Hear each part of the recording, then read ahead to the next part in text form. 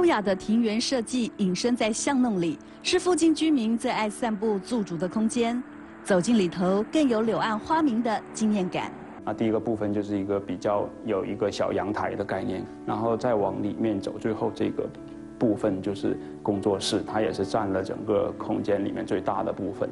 打造空间的是留发艺术家杨习文，多年来他周游台发中，整合三 D 资源进行艺术策展，甚至在中国沈阳当过美术馆馆长。过去快节奏的生活因为新冠疫情全部打乱，所有国际交流都停顿。但艺术推广可从没停过。店内的镇店之宝是他的收藏，在台湾是罕见的艺术创作。大部分人其实看不懂的，有些厉害的会说：“哦，这个好像是绢板，那是版画，能看出来，那已经很厉害了。”所以也会因为这两个作为一个。引子吧，去跟其他其他的朋友去介绍。而在这个空间里，还有一片墙，也是珍贵的艺术收藏。这个书墙里面收藏的部分，主要是以艺术、历史文化为主的。甚至早期的故宫文物月刊，对他来说都爱不释手。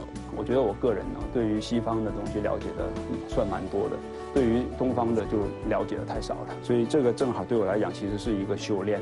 酌一壶清茶，品时光漫漫，在他的艺术空间里，还有更重要的事情等着他推动。希文他在教教素描，他不是是希望呃学生他只是能会画一个让你赏心悦目的画作而已，他希望能了解为什么会能产生这样的东西，背后的意义是什么，培养学生欣赏艺术的这个美感。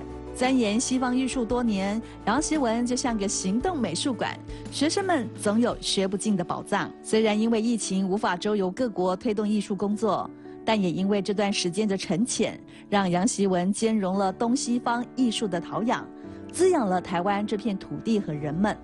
总有一天，台湾艺术也将借由他再度推广到世界各地。